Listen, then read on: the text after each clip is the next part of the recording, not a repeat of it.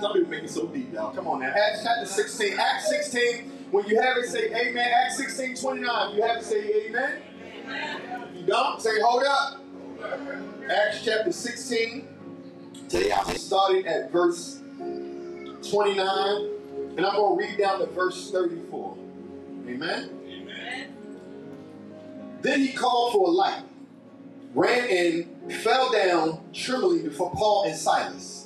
And he brought them out and said, Sir, what must I do to be saved? Verse 31 says, So they said, Believe on the Lord Jesus Christ, and you will be saved. You and your household. Verse 32 says, Then they spoke the word of the Lord to him and to all who were in his house. And he took them the same hour of the night and he washed their stripes. And immediately, see, immediately, and immediately he and all his family were baptized. Verse 34 says, Now when he had brought them into his house, he set foot before them and he rejoiced, having believed in God with all of his household. Look at your neighbor say, Neighbor, Neighbor, a faith a faith that changed family. their family. You all may be seated. Father in heaven, in Jesus' name, I pray right now that as I go towards this word, that you open up my mind and open up my heart, that you allow me to be an instrument and a vessel to minister to your people, Lord. We understand that in this season, families have been challenged, family has been divided, but we are believing and trusting you to bring back the foundation of the family. It's in Jesus' name. God's people said, Amen, Amen. Amen, Amen. and Amen. A faith that changed their family. Family, I was raised in the time where no matter what you did all week long, on Saturday morning, we had work to do. I don't care what time you went to bed. I don't care how many movies you stayed up and watched. Saturday morning was for cleaning. Yes. And I'm not talking about regular cleaning, Ron. I'm talking about unnecessary cleaning. Why you lift the stove, Grandma? Why we washing the concrete, Grandma? Why are we wiping down the baseboards, Grandma? Grandma, what is all these chemicals that I am smelling? I'm dizzy. I need a drink of water. I'm feeling a little lightheaded, Grandma. So one thing Grandma always did when she did clean is she always cooked. And not only did she always cook, she always cleaned, but she always made sure that the music was appropriate for the entire house. And the, the way the energy would flow through the house, and she would have some old school songs on and some stuff that we young bucks know nothing about. Play a little Otis Redding, a little bit of uh, a little stylistic, something that we knew nothing about. And they would go around and they would clean up. Then they would listen to that gospel music and they would make sure that it was always about what was really going to happen on Sunday.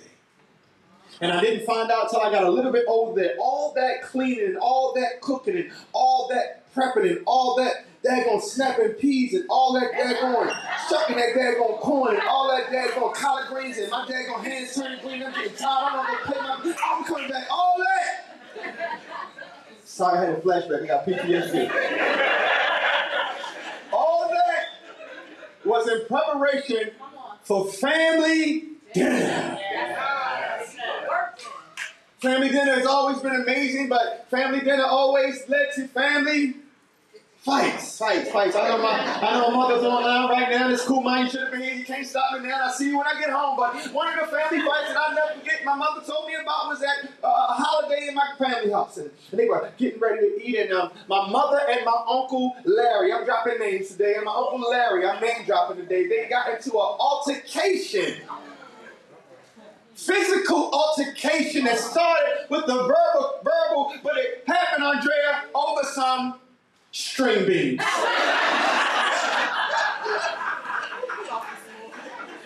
Yeah, it, it, was over some, some string beans. I don't know the whole details, man. You told me the story. I wasn't there, but the family know that they set the whole family up, and it was all about the roll around in the parking lot over some green beans. I say all that to say that there's one thing about family that used to do is that we could fight, roll around in the parking lot, but what we always did was stick to. So when you look back from generation to generation, no matter what happens, we always had a strong foundation of family. But what happened to the family? How do you know? The family was so powerful that even when nobody went to church, Big Mama went to church and prayed for the entire house. So much so that after she came from church, she would come home and have church again because she wasn't finished with church. Now you think you home chilling and relaxing, and no, that was just me. And I'm trying to figure out what's going on, and I wake up feeling like a piece of Popeyes chicken. All because while I was sleeping and resting in the bosom of Jesus, my grandmother was laying hands on me, Father in heaven in Jesus' name. I speak right now to everything. I speak, Grandma, now I don't need to blew my buzz. Now I got to get on up and go do something with my, I can't even enjoy my little ride that I plan on going because you, Father in heaven in Jesus' name, is binding every demon. And I speak over your life right now. I speak sobriety. Grandma, I'm dizzy right now. Got a headache. Cut the lights off, Grandpa. So, so now she understood that even if the family wasn't functioning, she was the foundation. And she understood that if nobody was going to pray, she was going to pray. If nobody was going to read the word, she was going to read the word. If nobody was going to feed you, she was going to feed you, your friends, your friends' friends, your cousins, your uncle up the street, the ones around the corner, and everybody else. Because that was when family was the foundation. I said all that to say in my introduction to what happened to the foundation of family. I believe that the, the glue that kept the family is no longer here. And, and if it wasn't for Big Mama and the, the elderly, the family would never have been getting together. But my question is this what have they taught us, trained us, prepared us for? Because I can promise you some of them are rolling in the grave. We knew that, and we knew that there was some non-negotiables. We knew that you could do anything on Monday. You can turn up on Tuesday. You can go for a walk on Wednesday. You can go be thirsty on Thursday. You can be fried on Friday. But Saturday, and you that you can go be sitting somewhere on Saturday, but Sunday you knew. Sunday, I need to be at my family's my family house. Why? Because when I come to my, my family house, I can I should be able to come and be myself. I should be able to come and be able to fellowship. Why? Because wherever you got family, there should be fellowship. Say fellowship. Fellowship. So here we understand that, that the family has lost this, its niche, it's lost this connection, and now we are so busy doing everything else that we don't have time for our family. And now we, we went from fellowshipping on a, a family, now we, we went down to a, a text message. We used to sit down and, and at least I didn't see you all year long. I knew that we could at least sit down and have some chicken and some some some, some sweet potatoes and, and some, some collard greens and some, some macaroni and cheese and some candy. Oh my God, Shabbat, come on, Lord. And some rolls and some cake and some, some lemon pie and some double eggs and some seafood salad. Hallelujah. Jesus.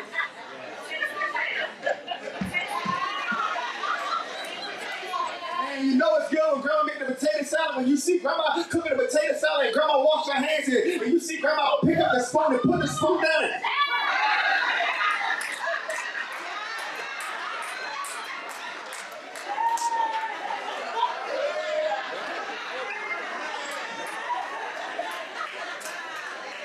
They say put your elbow in it. That's what they really meant.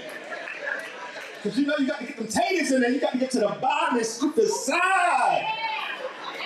Bring it to the top. But now it seems like the family's so busy and running and going that we have lost our connection with family. But here today in our text, say what's the text say? We see first off, let's before we even get to the family, we gotta see Paul and Silas. Before I tell y'all what's happening here, I gotta tell y'all what happened there. So as we get to our text, let me give you a little backdrop to this story. We have Paul and Silas. Paul was a tent maker from Tarshish who was called and anointed and appointed by God. But when he was called, anointed, and appointed by God, he was already living as a sinner. What was he doing? He was riding around killing Christians crucifying him. But what happened? He met his match one day, and God knocked him off his high horse, humbled him, and asked him, he said, What must I do to be saved? So, what am I saying? That everybody in here today must have an opportunity and an experience to meet God. Even and when even when you don't want to meet him, he will meet you at the most unusual place and the most unusual time. Is there anybody in here who can testify that I was not born in church with the Bible in one hand and the hymn book in the other hand? God had to come and get me off of Pennsylvania Avenue. Some of y'all know what I'm talking about. And y'all wasn't being social up in that club at the art. Is there anybody in here who can say, God, oh, let me go back and get some of y'all. God had to come get me. Let me come down a little bit more. God had to come get me from volcanoes. Y'all ain't gonna talk back to me. He, or he had to come stop by Odell's. Or he had to pull up at Melvin's. Is there anybody in here who can testify that God me when I wasn't thinking about him? And I can tell you right now, if God, oh, I'm gonna get my young people, where you was at trilogies? Come on, where you was at the Iguana Cantina? Don't make me come and get you because I probably seen you there. I was passing out brochures for church.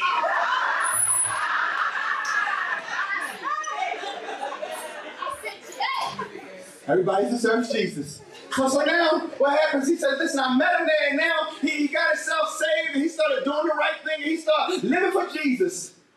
And how many people know that when you start living for Jesus, life don't always get so much easier?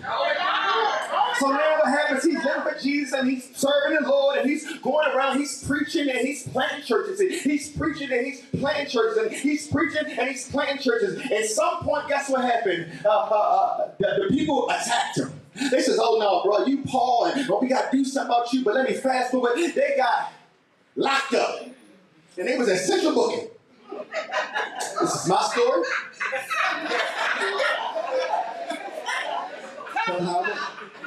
Central booking. It was a central booking, and it was on the steel side, and it was, I don't know what the steel side, I never, I'm bluffing y'all. It was on the steel side. It sounds cold though, right? It sounds real the wrong, but I'm about that life. I did a little time, I'll tell you that another story. That's another time for another day. So now what happened? It was on the steel side, it was on the steel side. Don't, don't, no, that's like, that was like, anybody else like, no, everybody else know they call cat movie wrong. You see the only one laughing. So he said, oh, they was on the steel side, they was locked up. He says, okay, we in prison. So how were they in purpose and in prison? They were walking in purpose and they ended up in prison. So purpose don't always put you in a place that you expect. But sometimes purpose can put you in a place where you don't expect, but just because you're not where you expect to be, don't mean you're not in purpose. Because even where you don't supposed to be, God can meet you and get you where you need to be. Is there anybody in here who can testify that I always on the roll call straight, but God came and met me and got me together. I got all the way off over here and I wanted off, but instead of God cutting me off, He simply curved me in and He came back around and gave me another chance to get things right with Him. So he says, all right, they, they're not in prison, y'all, but even though they were in prison, they were in chains in their physical form, but their spiritual was free. How do you know? By how they operated. They weren't in there complaining. They weren't in there crying. They weren't in there stressing. If you go back and read Acts 16, the Bible says that they were praying and singing. They were praying and singing. They were in jail. They were praying and singing. They were in chains, but they were praying and they were singing. Is there anybody here who can say, even though I'm not in the best position, I'm going to still pray and I'm still going to sing? Why? Because they understood that it's who they're praying to is going to let them know that even if God don't deliver me, He's still able. And, and, and the second, uh, the Bible says they were all chained up there and they all were connected together. They were all connected. There was a whole bunch of them and they were all connected. And as they were connected, the Bible says that they were praying and singing. songs. They were worshiping. It was, I mean, they were singing the old songs, you know, how I made it over. And they were just going in and said, lead me, guide me along the way. Four. Oh, let me find out y'all old school here. If you what? I. People, well, now what? So then they was, they was singing, Lord, let me walk. And the Bible says that they were singing, there was an earthquake. So what am I saying that your praise has power to break some stuff off of you? So what am I saying that when the enemy grabs you, that's not the time to get sad. That's not the time to be quiet. That's the time to make a joyful noise, all ye land, and serve the Lord with gladness. Why? Because it's my praise that invokes God's power, and it's God's power that breaks the yoke off the back of the enemy. So is there anybody in here who's in the middle of a storm, who's in the middle of a pain, who says, Pastor, I done lost a whole lot of things. I done lost some friends, I done lost some jobs, I done lost some relationships, but I did not lose my praise. I bless the Lord at all times, and his praises shall continually be in my mouth. Oh, magnify the Lord with me. Let us exalt his name together. If you had not lost your praise, say, Pastor, I'm still going to praise. The Bible said that. Said, man, they were still praising and they got free in it. And the Bible says that they praised so hard that the jailhouse doors went open. And at the moment in the text, as I fast forward a little bit and hasten, he says uh, that the person that was responsible for them was a jailer. He, was a CO. So y'all, he was a CO. He was a CO, y'all. He's a correctional officer at, at Central Booking, and he was sitting down there, and he was a CO, and he was responsible for making sure that they did not get free. But my question is this: Why were they? Why did they have somebody watching them when he was already locked up? They were already in chains. They were already in a cell. Then they still had somebody to watch them while they were in the cell already in chains. Can I give, can I use my exegetical imagination and let y'all know what I think this text is saying to me? This text is saying to me that the jailer understood how powerful they were. That the person that put them there understood that they could not keep them there. And I let somebody know that there's somebody right now trying to put you in a place and put you in a box. But I need to at you and say, neighbor, I'm too big for a box. You can't put me in no box. You trying to determine how I move, determine what I'm going to say, how I'm going to dress, how I'm going to walk, how I'm going to talk. It was God that woke me up this morning. It was God that started me on my way. And if you name me sweet baby Jesus, you ain't going to tell me what to do. I was born to be different. I was born to step out my comfort zone. That's why I can't fit in because I was born to stand out. So stop crying and invite you to cook out. Stop getting mad when you see the pictures. They didn't want you to come because they knew what you was bringing with you. So sometimes it's what they know about you. So, so here we go. Let's fast forward to now. We get to the point now text where we see the jailer. He finds out that they free. So when he finally see it, he, he freaked out. He says, Whoa! I'm done. I'm fired. I'm going. Made, made it work. Where my ex-COs at? Don't, don't tell me who you are. I know who you are. So, so now, imagine being a CO. Don't tell me who you are. And you got all your people, you, you watching, right? And you did count. You did you count. If they laughing, they might have been a CO. You didn't count. Because if they don't know what it is, you didn't count. And he decide, I know y'all don't do it, but some CEOs decide to get a little Z's. right, there you go. Right, Pat? What they gonna do? Right? I got the key. They in jail. They got handcuffs. And they got them on their, their hands, their feet, and I got the door locked. So, I think it's a good time We was praying. to get a little Z's. So, We was praying, sir. yeah, praying. We was praying, And sir. they were sitting there and, and they said, oh, man, why you gotta pray like this? They were laying there. Said, "Ooh." Ooh. They were jail. They wasn't going away. So they there. So they there in jail. And the Bible says he, they, they, they sung him to sleep. They would sing, oh, what a friend we have in Jesus. All of our sins and griefs bear. And he, oh yeah, hallelujah.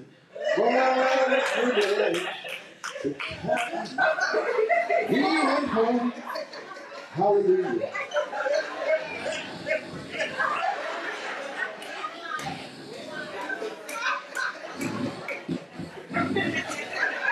And the Bible says he woke up. And you know when you, when you when you go to sleep, when you don't really mean to go to sleep, and you wake up and feel like you, you don't know where you're at. don't fall asleep in, at the store, son.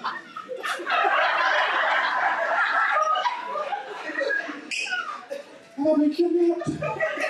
This is not my room. Oh, now I'm at the bank. How did I do this? So now he got up seen everybody free. He said, Oh, I'm done. He seen all this, he seen everybody, around the jail, doing their thing. He said, I'm done, son. I'm, I'm done. So he got up, he said, Oh, I'm about to kill myself. He got on his sword. But Paul was like, Ho! Calm down, cowboy. We all here. Don't miss that shot. He says, Calm down, we all here. So he had a chance to go, but he chose to stay. So since now he says, We all here. And he said, Listen, what you mean we all here? So now he says, I need you to know that we all here.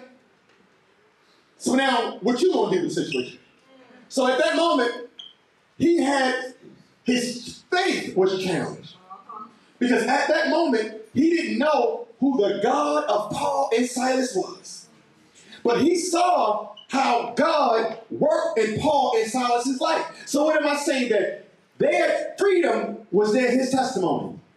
So when they saw, when he saw the people bound and he got up and they were free, he didn't, uh, he tried to kill himself, but what he said was, he says, Ho, what must I do? Say I do. I did. He says, because I want to be saved. Because he realized that I was in bondage myself because anybody that knows anything about a CO, you in jail just as much as they are. Because some kick up behind the walls, it's going to take you a long time to get outside. So he understood that even though he had a job of freedom, he still lived a life of slavery and a life of bondage. But he understood that I needed to be free, not just physically, but spiritually. So you look at the text a little bit closer, there are three things. Say three things that you see that this one jailer, this one jailer state, changed his entire family. The first thing you see is that, and they say admit. He admitted. How, do you know he admitted? It says it right there in, in verse 29. Verse 29 says, Then he called for a light. Said, Let me see, let me get a light. Let me see what's going on. Then it says he ran and he fell down, trembling before Paul and Silas. And, then- and then when, he, when he went there, he, he got down there and he says, Sir, what must I do to be saved? He said, I. That word indicates he was talking about himself. I do. So, so understand your salvation is for you, but it benefits others. It's, it's, it's, it's my faith, but it's, it's, it's for me, but it benefits others. But in order to understand what admitting is, he says he had to admit that he was wrong. He had to identify that he was in a position where he need, had a need that he couldn't fulfill. So what do you mean? Admit. Have you ever known somebody that you know they did it? You know that you know that you know that you know they did. So, but you're being so nice that you give them an opportunity to confess. Hey, you say my uh stuff? You know. No, I ain't seen ahead.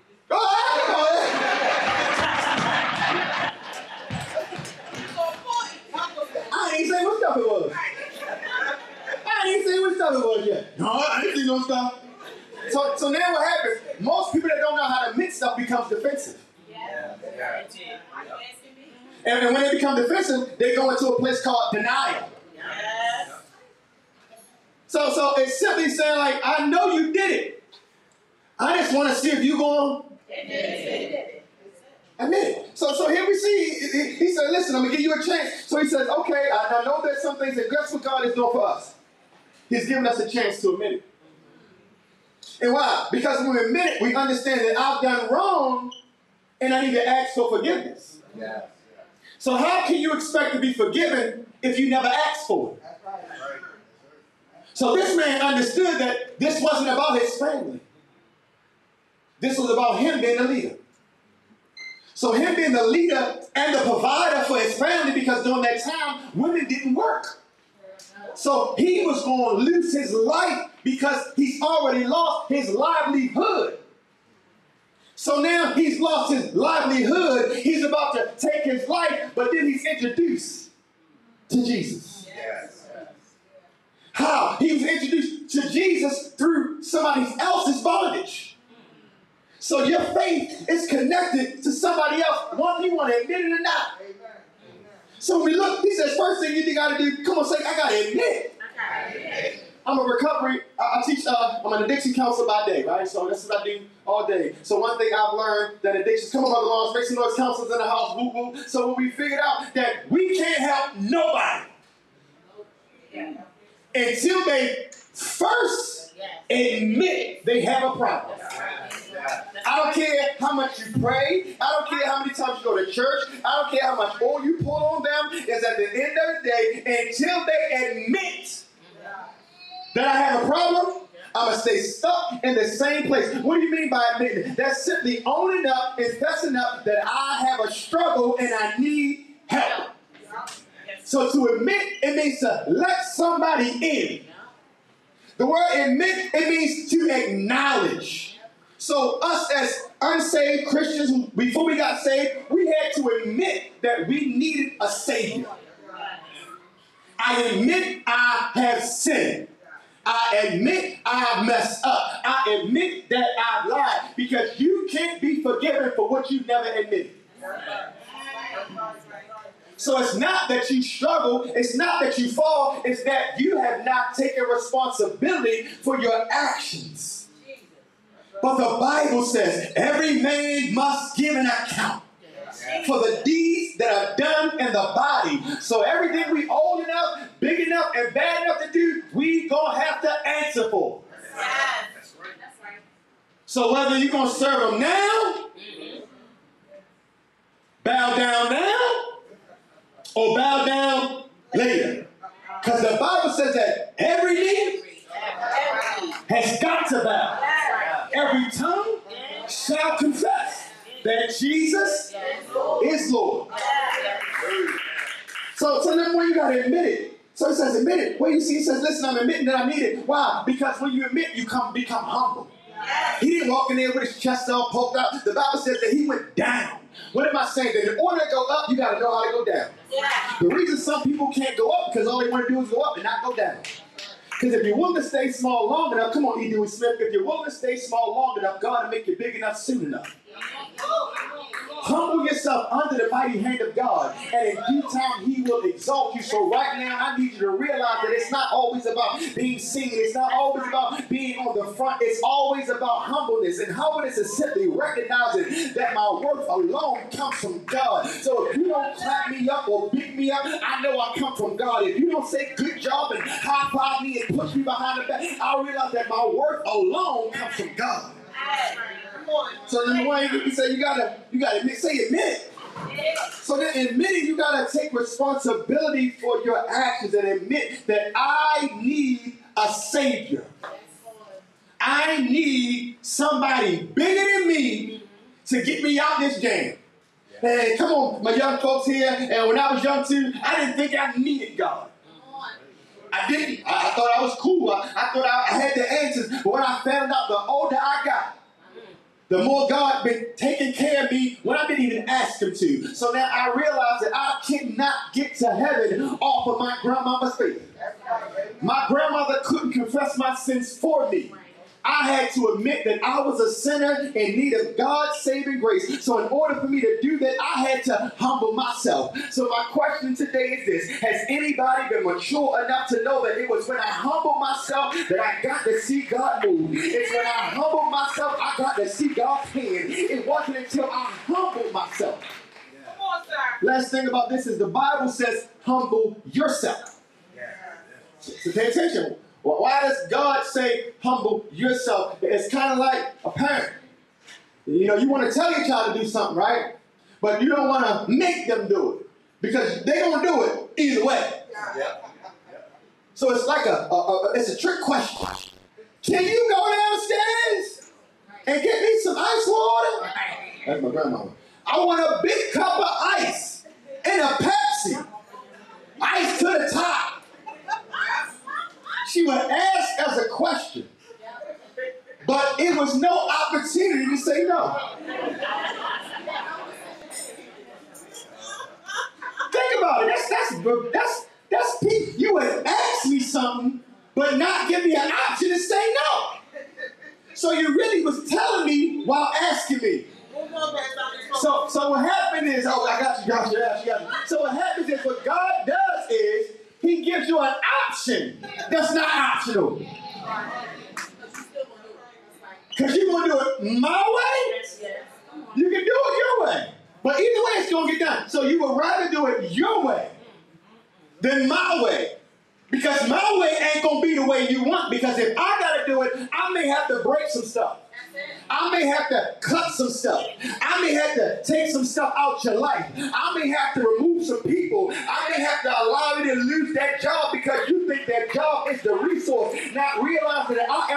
Of all the resources. I may have to lose your boo or your babe because you was going to church every Sunday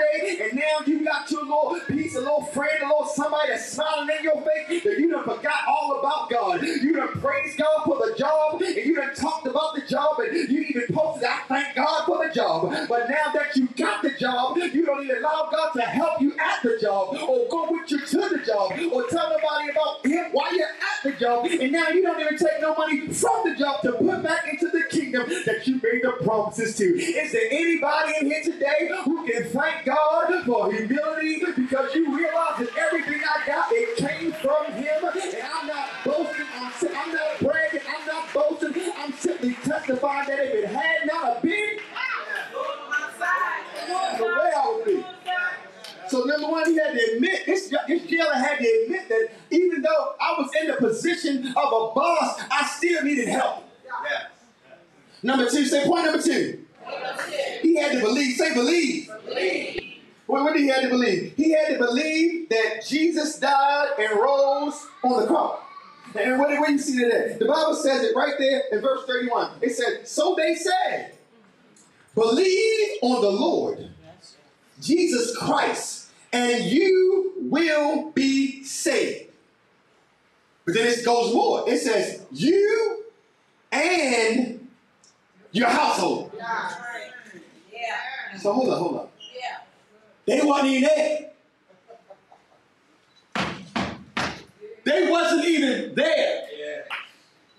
They were at home. He was he wasn't even at church. Mm-hmm. So so you telling me that just because they not in, they can get saved and not be at church? Yeah. If you doing what you do right, you're gonna bring so much Jesus home that you're gonna be a walking church. So, so the text said, he says, believe. That's his faith system. So a lot of times people make uh, trusting God complicated. Make Christianity complicated. How do you get saved? Salvation is this. You gotta do this. You gotta do that. You gotta no no no. The Bible says it right here. It says believe in the Lord Jesus.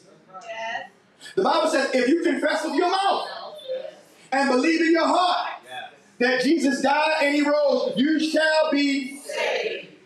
So if Jesus told you how to be saved, why are you allowing other people to make you jump through hoops to get saved? Salvation is free, but it costs Jesus his life.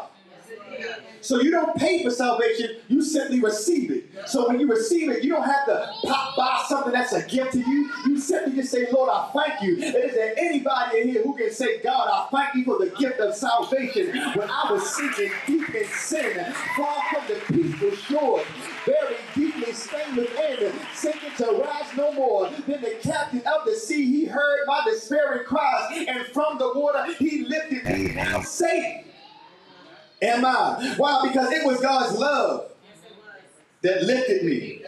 Because when nothing else could help, it was His love that lifted me. So he says, listen, you gotta believe. So, so in order to, to understand, you gotta accept it. and after that, you gotta believe it. You gotta believe that Jesus can do it. But but he didn't believe that Jesus could do it until until he saw it. He saw two people that were bound. And when he saw them, they were free. He went to sleep. They were bound because if they were free, he wouldn't have went to sleep. He wasn't going to sleep. He was stayed up, in the swivel. He got comfortable. And what happened is while he was sleeping, God was working. So while he was sleeping, God was setting stuff free. God was moving some chains. God was shifting some stuff. God was breaking some stuff. God was manifesting some stuff. So wow, as he woke up, they were free. So what am I saying? When people look at your life right now, do they see you free? Free people, free people. Harriet Tubman said, I would have freed a whole lot more people if they only knew that they were in bondage. Is there anybody here today who can testify that I am free and who the Son sets free is free indeed? And now you can testify that God has set me free from the chains of bondage, set me free from the chains of animosity, set me free from unforgiveness, set me free from discontentment, set me free from bitterness. Right now, just say I'm free. So, so, so their belief grew when they saw. He saw these people. So when people look at your life, do they see the old you or the new you? So he saw that they were different. I saw that these guys uh, uh, have been changed. They're not the same. And now he says, not only do you, you gotta accept, not only do you gotta believe. Come on, say what's point number three, Pastor? You gotta confess.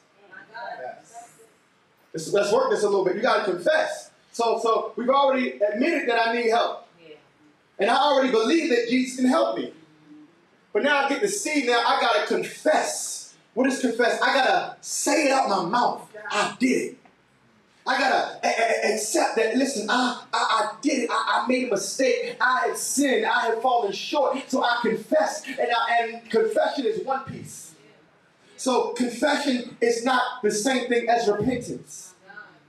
Because the end goal is to, to make sure that it's about salvation. And these guys understood that I need to make sure that my soul is saved and secure. So, how do I make sure my soul is saved and secure? By understanding that I got to repent. Say repent. Just confessing is not enough. You gotta repent because now he says, I gotta repent. Why I? Because I need to make sure that when I get myself together, I want everybody around me to benefit from what I'm doing. He, he- said it right here, verse 33. It says, And he took them the same hour of the night. So now he went from being taken in from church. So guess what? He got saved and he started serving. He got, I said it earlier, he got straight to work. And right there in the text, he said, he says, he took them and he washed their stripes. And he immediately, he and his family were baptized. So what is baptism? That's a public declaration of an inward transformation. So I'm simply letting you. So next week, we got how many candidates? I said it wrong. I got to digress last week. I said the wrong number. That was wrong. Wrong number. I got in trouble for it. What's the right number? So I'm going to say the wrong number. We got 10 people getting baptized next week. Celebrate it. And if, if, you, if you want to sign up, make sure you see Lee Lady or see uh, uh, somebody on Hub's team and sign up and register. So what happens is you don't have to go to this church. We're going to baptize you anyway. We want you to be into the kingdom, not just in this church. So now what happens? He says, listen, I need you to realize that the baptism is what it's going to show that now I'm changing teams. So that's why when you get baptized, you need to invite your family and your friends. Because what you're doing is, I need to set up a new support system. So if you can't come then come on now. Says I don't, I don't need you to come to that.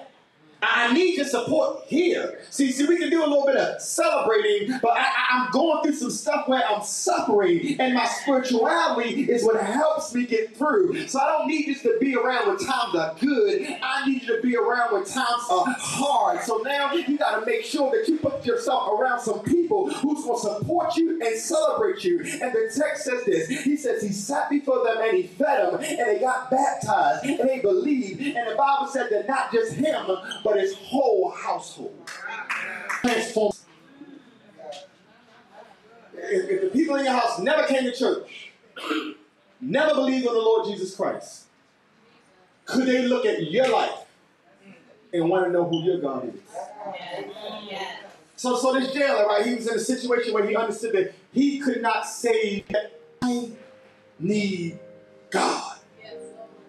And what, how did he do that? He saw Paul and Silas, but he believed in their God. He realized, and I needed to get myself together. But his family do it. It, it say that the church came to his family. I'm in the book. The Bible didn't say they went down there and they was having service on family and friends that on the spit in his ear. No, that ain't what it said. So what am I saying? God can meet you anywhere and save you. Because, let's, me show you an illustration. Quick.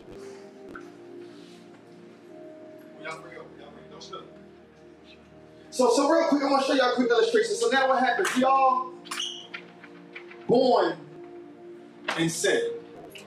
Our life. Simply sin. Right? This is sin. This is just sin. This is can't see what's going on in there. You just know it's it comes from heaven. Every good and perfect gift comes from above. You heard it, right? We innocent. We don't know nothing.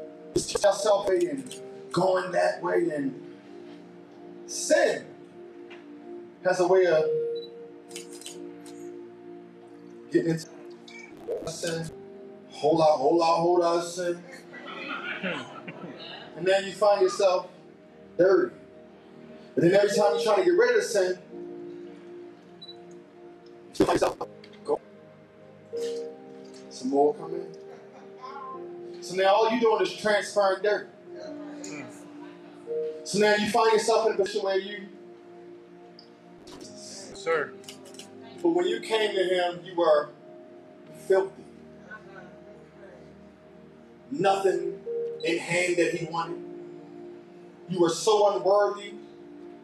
But the Bible says 16. For God so loved the world that he gave his only begotten Son, that whosoever believeth in him shall be See, so then Jesus, you become bold and you become consistent and you become prayerful. Come on, you become prayerful and you become fasting and you just seeking Him and you just keep working on it and you just keep on working on it and you just keep working on it and you just keep cleansing you. And now what happens? Nobody even know who you are. Hallelujah. Because he cleaned my life up. And, and now he didn't just do that, but what God also did was he allowed you to be able to deal with all your stuff. He says, listen, I'll go ahead and handle all your stuff. But what he also said was this, I'm going to also take the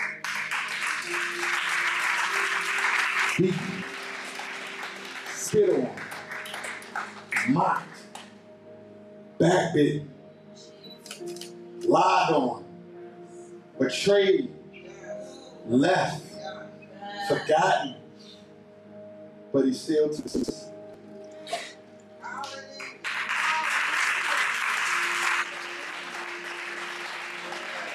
So if you just thank God, I need you to stand on your feet right now and put your hands together for thanking for, for washing you and for, for cleansing you and for giving you a fresh new start and giving you a fresh new day and giving you a fresh new opportunity and you believe it and trust it.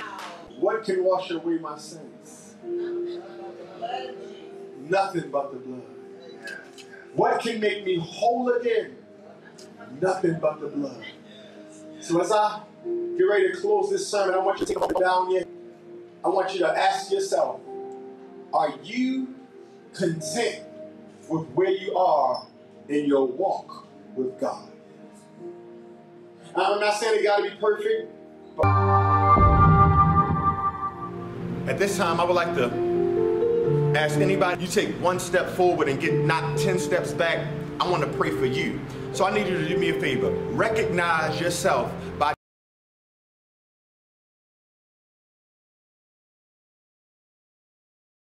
now that you be for them what they cannot be for themselves. I pray that you meet them right where they are at their appointed need. Has a heavy heart, whoever got a stony heart, whoever got all these things going on with the enemy maybe stealing their joy and stealing their peace, I pray right now that no weapon formed against them shall prosper, but every tongue that rises up in judgment thou shalt condemn. For this, Jesus' name, I pray. Come on, say amen. Come on, type it in the chat. Amen.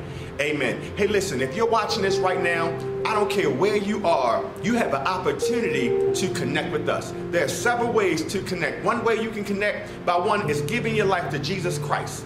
Yes, you can. Give your life to the Lord. How do you do that? Confess with your mouth, believe in your heart that Jesus died, and pray the prayer of salvation. How do you do that? You say, Lord, come into my heart, save me, cleanse me, rejuvenate me, allow me to acknowledge and recognize. My next plea is this.